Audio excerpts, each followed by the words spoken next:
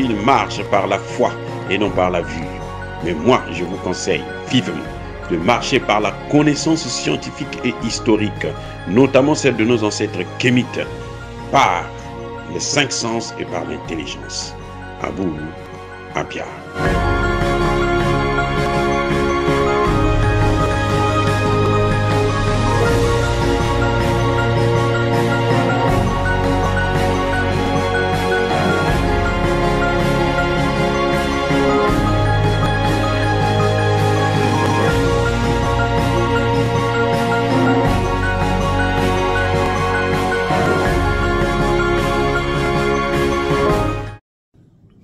Otep à tous, bienvenue sur la chaîne des panafricanistes par essence, par conviction et par excellence.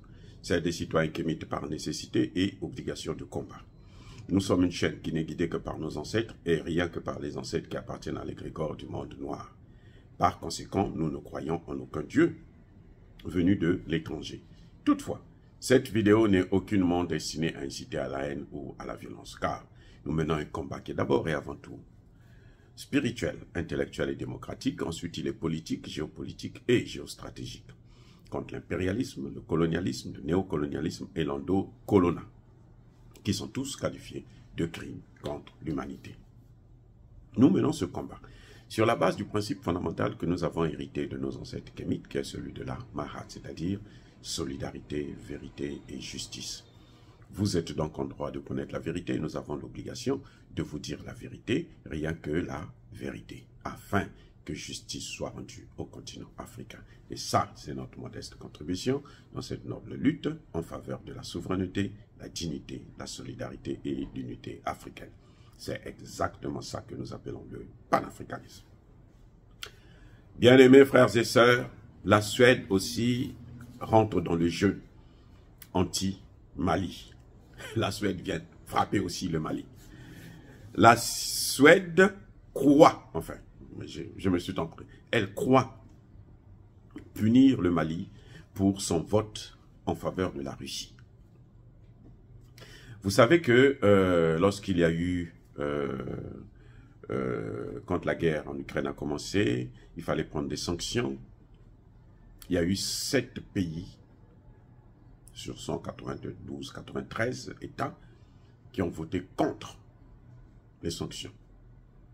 Et en Afrique, il y a eu deux pays qui ont toujours voté en faveur de la Russie, c'est l'Érythrée et le Mali. 32 se sont abstenus parmi les 32. Il y en a qui ont même fui carrément parce qu'ils avaient la trouille et trembloté. Ils se sont dit non, on va même pas se présenter pour euh, s'abstenir, non. Et ils ont fui, ils ne se sont même pas présentés, ils ne sont pas venus. Bref, parmi ces pays, il y avait le Mali, qui a voté contre les sanctions. Alors, au niveau de l'Union africaine, ils avaient décidé qu'il faut punir, d'ailleurs les États-Unis en premier, il faut punir tous les pays qui soutiennent la Russie. Ceux qui se sont abstenus et ceux qui ont voté contre notre décision à nous. Ça, c'est la, la démocratie occidentale. Hein. La démocratie, c'est ça. C'est-à-dire que ce que vous faites là, ce que vous dites là, il faut que les gens acceptent. S'ils n'acceptent pas, il n'y a pas de démocratie. Parce que s'il n'y a pas de démocratie, il faut sanctionner ceux qui ne sont, sont antidémocratiques. Donc nous ne sommes plus celui que les États-Unis pensent que eux, ils ont mandat de gérer le monde. Et c'est ça qui se passe. Bref, ils avaient pris cette décision de sanctionner. L'Union européenne aussi, vous avez entendu euh, certains euh, au cadre de l'Union européenne vous dire que, mais depuis quand les Africains aussi ont pris des positions contraires aux nôtres? Eux, ils doivent faire ce que nous on leur demande de faire, ce que nous faisons. Parce que c'est ça la démocratie. Et donc la Suède se réveille. Après plusieurs mois, la Suède maintenant vient, elle dit, moi je dois frapper le Mali. Ah bon, ok. Vous savez quoi? La Suède suspend, pour punir le Mali, elle suspend l'aide euh, en faveur du Mali. Demandez-moi c'est combien? 52 millions d'euros. Des minables 52 millions d'euros. Donc la Suède, là, hein, quand les dirigeants, les présidents suédois là là, ils pensent que le Mali vit avec 52 millions d'euros chaque année. Ah les 52 millions d'euros, là, les Maliens qui vivent à l'étranger, là, apportent ça. Vous savez que la diaspora, chaque année, en 2022, la diaspora a envoyé en Afrique 53 milliards, pas millions, je parle de milliards. C'est plus que les 52 millions de la Suède, des les tout ce que le monde entier donne là. Ils, font moins que nous, les Africains. Mais la Suède pense quand même qu'elle peut punir le Mali. Ça fait deux ans que le Mali vit sans aucune subvention d'un État quelconque. Le Mali augmente les salaires, le Mali vit bien. Le Mali règle le problème de la sécurité, le Mali achète des armes dernière génération, dernier cri. Et oui. Donc, ce que la Suède fait, c'est un coup de pied dans l'eau. Et c'est ce que, malheureusement, ces gens-là ne comprennent pas. Et quand nous, on le leur dit, ils disent que nous sommes arrogants. Non, on n'est pas arrogants. On ne veut plus être vos esclaves. On ne veut plus être colonisés. Eh oui. C'est pour ça qu'une fois de plus, j'appelle encore les dirigeants de euh, l'AES d'aller très vite en ce qui concerne la monnaie pour clouer le bec de tous ces gens-là. Vous leur clouer le bec, qu'ils se taisent maintenant et qu'ils nous laissent tranquilles. Le Premier ministre Lamine Zen a bien expliqué que l'AES ne sera pas à la disposition de ces Occidentaux. Ce n'est pas eux qui vont investir c'est pas eux qui vont financer. Aucun pays, même pas la Russie, notre meilleur ami, non. Même pas la Chine, notre meilleur ami, non. Même pas l'Iran, notre ami, non. Encore moins la Turquie, notre ami, non. Personne ne va financer. C'est nous qui allons financer avec nos fonds propres.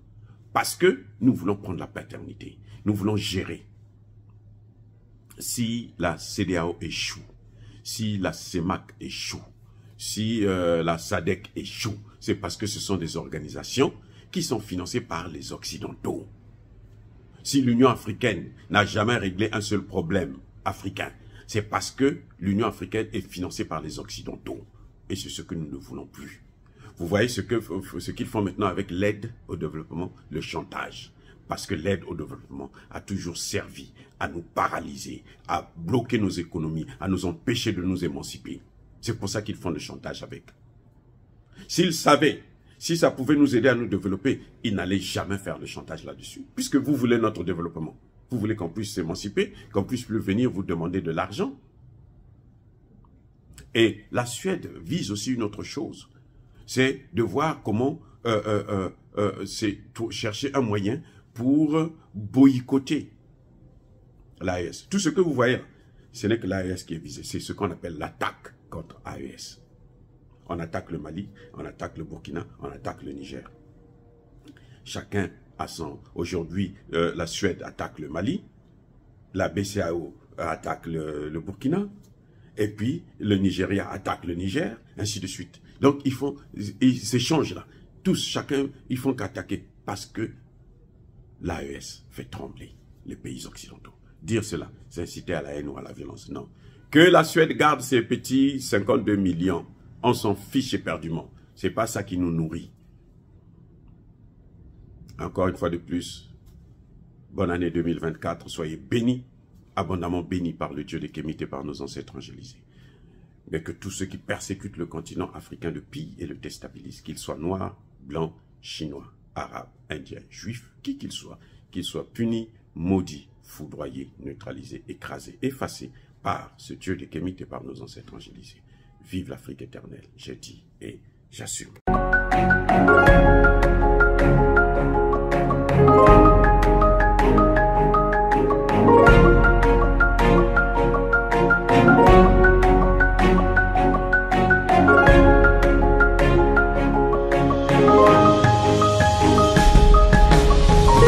Bien-aimés frères et sœurs, vous connaîtrez la vérité et la vérité vous affranchira. Ça, c'est pas moi qui le dis, c'est la Bible qui le dit.